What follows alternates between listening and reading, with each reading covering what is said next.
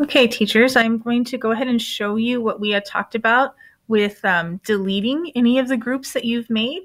I did go back and look to see where you would actually do that.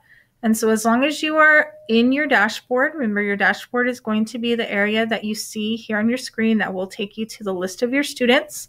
And it will also give you this drop down here that has the names of your groups. And so what you'll do is you'll go ahead and just select the group that you want to delete. You'll see the action button here on the side of the name of the group.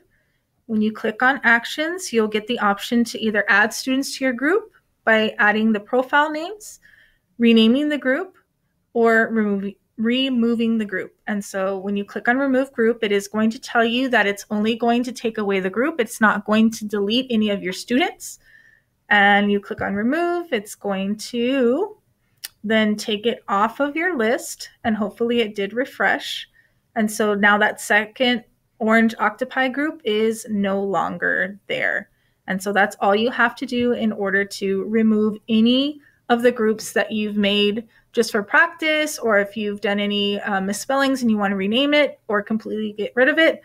Remember, you select the name of your group, and you go next to actions for any of the options of what you would like to do to that group. I hope that that did help and answer your question.